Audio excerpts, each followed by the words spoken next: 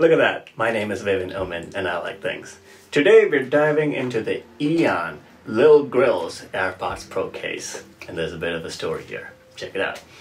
Taking the idea of bare bones quite literally, the folks at Eon had a pretty unique concept in mind when they designed this case. AirPods Pro cases, as we all know, are pretty small and they're slippery and they're fragile and certainly not cheap. And if you've customized your AirPods Pro case like how I have, most cases that you get cover up this customization unless you get a clear case. But this is a cool alternative. At least it could have been. Let me explain. The Lil Grillz case is basically a skeletal design, a bumper case for the AirPods Pro if you will. Very reminiscent of a Venom pattern, especially if you get it in black.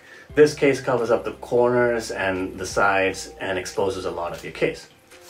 Of course, the trade-off is that it exposes a lot of the case. It's a form versus function gamble. Because when I tried to fit these onto my AirPods the first time around, it didn't snugly fit. I imagine the extra space in between is for the adhesives, but this is where I think a manual or some kind of instructions would have come in handy.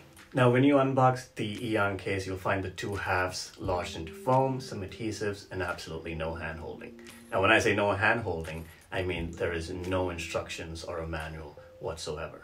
Now I might be asking for too much for a manual for an AirPods Pro case, but hear me out.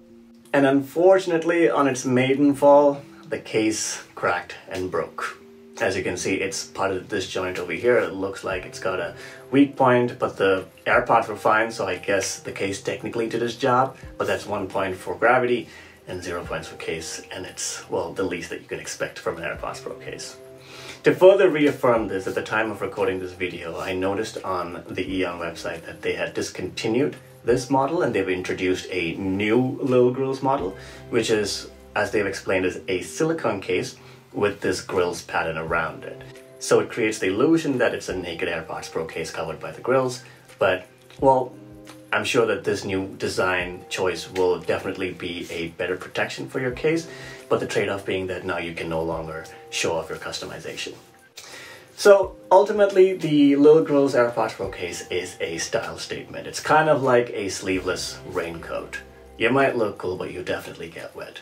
If style and statement trumps ruggedness in your book, then this is the case. Well, just that I don't think you can get it anymore, which is a good thing because it means no more of a Humpty Dumpty situation. So there you have it. The Eon Lil Grillz AirPods Pro case. Thank you for watching.